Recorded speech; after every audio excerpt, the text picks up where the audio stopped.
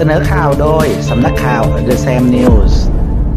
สายการบิน American Airlines ทุ่มเงินซื้อ Boom Overture เครื่องบินโดยสารความเร็วเหนือเสียง 20 ลำ โดยหลังจากที่โอเวอร์เจอร์เครื่องบินเจ็ตความเร็วเหนือเสียงหรือ supersonic ได้เปิดตัวไปเมื่อประมาณปลายเดือนกรกฎาคมที่ผ่านมาค่ะ ตอนนั้นมีสายการบิน United Airlines แล้วก็สายการบิน Japan Airlines ที่สนใจร่วมลงทุน สั่งซื้อตั้งแต่ยังไม่ทันเปิดสายพานการผลิตนะคะ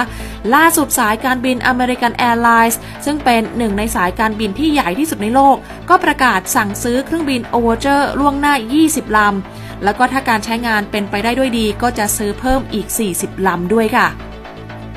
โดยเป้าหมายการสั่งซื้อครั้งนี้เกิดขึ้นเพื่อที่จะลดเวลาการบินของสายการบิน ที่มีเส้นทางการบินทั่วโลกกว่า 600 เส้นทาง โดยเฉพาะในเส้นทางการบินระยะไกลอย่างไมอามี่ลอนดอน ที่ปกติจะใช้เวลาเดินทางร่วม 10 ชั่วโมง ให้เหลือเพียงครึ่งหนึ่งเท่านั้นค่ะ รวมถึงตอนนี้เองก็ก้าวเข้าสู่ยุคการบินที่เป็นมิตรกับสิ่งแวดล้อมด้วย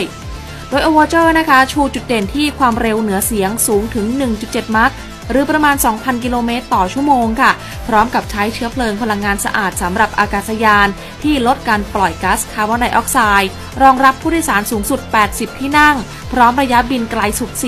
4,250 ไมล์ทะเล หรือว่าประมาณ 7,870 กิโลเมตร ซึ่งตอนนี้ต้องบอกว่าอยู่ระหว่างการออกแบบแล้วก็ปรับปรุง เพื่อเริ่มเดินหน้าการผลิตในอีกไม่เกิน 2 ปี ให้พร้อมทดสอบการบินในปี 2026 และพร้อมที่จะส่งมอบกับลูกค้าได้ภายในปี 2029 ค่ะ